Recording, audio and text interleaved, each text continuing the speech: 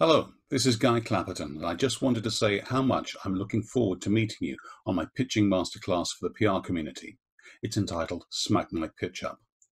There'll be a group briefing in the morning, which will include examples, good and bad, and role plays.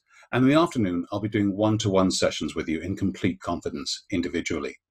I've been a journalist for 30 years, and I know what's inspired me and what hasn't. So I look forward to meeting you. Thank you. Bye.